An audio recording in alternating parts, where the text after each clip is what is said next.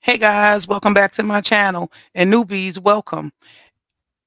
In our celebrity gossip and news, Tory Lanez has been dropped from the Fall Back in Love comedy and music jam tour due to his altercation with August Alsina over the weekend, leaving August with a bloody lip. Taken to his Twitter, August said, As I'm exiting the building after the show last night, a 4'11 size leprechaun ran down on me with eight oversized security blanks, whom I greeted each individual upon their walking up as they tried to press me. The whole time I'm one deep, no security. Tory continues to ask with a broken ego why I didn't dap him up. I go on to tell him I was a fan of him and I didn't understand him speaking on my business publicly in the past because I don't know him or even or ever met him until last night. So when he spoke, it so when he spoke, it caught me off guard because of his past actions. I assumed he didn't like me. That's all. Not to mention with my history of health and condition just recently overcoming being paralyzed, my doctor directed me not to compromise my health while out on the road and shake hands of less and shake as less hands as possible due to C and MP. Never any disrespectful words were exchanged. So I was a bit confused at how somehow he turned himself up with an anger, with anger after hitting a blunt laced with C, obviously. I heard the fizzle. And he snuck me when I turned my head to move to the side, to move to the side among all his antsy moving and keeping and to keep an eye on the endless blanks that was with him surrounding me which was security and some blank with the pal tucked whom he proceeded to run behind and hide to run back in the building. There was never a fight simply an assault. Dude was no real dude has no real friends or is on and is on a crash out mission. With that said, I was going to keep it G and not come to the net, but you moving with foul intent, feeding the falsities to the blogs to look for a moment because the moments ain't happening on stage for you.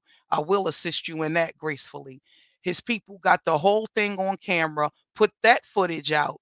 I'd like to see it. Anyway, let me go clean this red off my face and Tory uh, told academics that he doesn't know anything. He don't have nothing to do with it. He don't know what nobody talking about.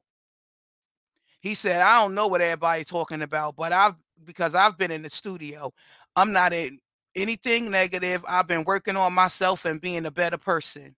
Well, watch the video and y'all be the judge of it drop down in the comment box. Let's gossip about it, guys.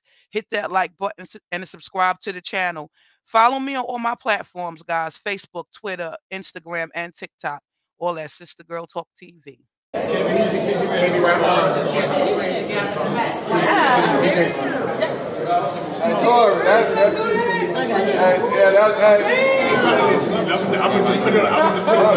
Yeah,